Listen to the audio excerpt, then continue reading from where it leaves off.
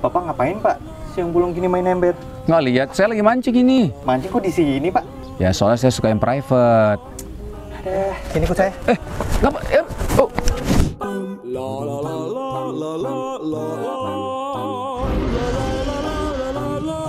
Ini saya mau dibawa ke mana sih? Ini tempat pemancingannya. Namanya testing fish pond. Private lagi. Masih tahap pembangunan sih. Tapi bentar lagi jadi kok. Bapak mau lihat? Mau, mau.